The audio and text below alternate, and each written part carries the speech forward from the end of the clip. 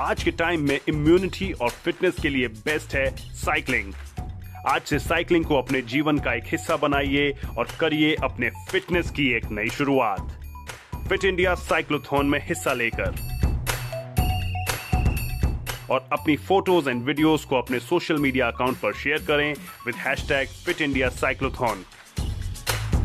आज ही www.fitindia.gov.in पर रजिस्टर करें और बनाएँ अपने को और इंडिया को फिट